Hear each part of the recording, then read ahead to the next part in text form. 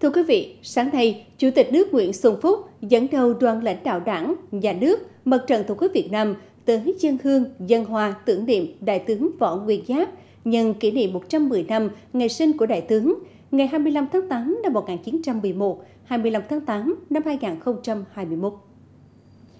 Trước bàn thờ tại nhà riêng của Đại tướng Võ Nguyên Giáp, nguyên ủy viên Bộ Chính trị, nguyên bí thư Quân ủy Trung ương, nguyên Phó Thủ tướng Thường trực Chính phủ, nguyên Bộ trưởng Bộ Quốc phòng, Tổng tư lệnh Quân đội Nhân dân Việt Nam, đại biểu Quốc hội từ khóa 1 đến khóa 8. Chủ tịch nước Nguyễn Xuân Phúc thay mặt lãnh đạo đảng, nhà nước, Mặt trận Tổ quốc Việt Nam tỏ lòng thành kính tưởng nhớ tri ân và biết ơn sâu sắc đối với Đại tướng Võ Nguyên Giáp, một chiến sĩ cách mạng kiên trung, người học trò xuất sắc và gần gũi của Chủ tịch Hồ Chí Minh vĩ đại.